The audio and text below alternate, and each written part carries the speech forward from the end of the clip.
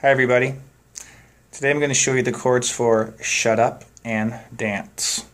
C, F, A minor, G. That's it. Here are the chords.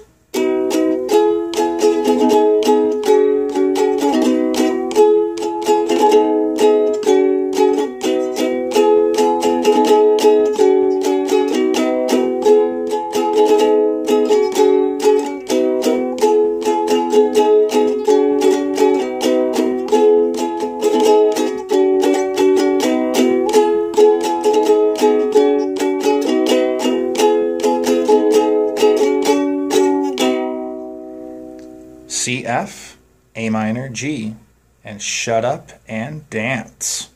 Try it.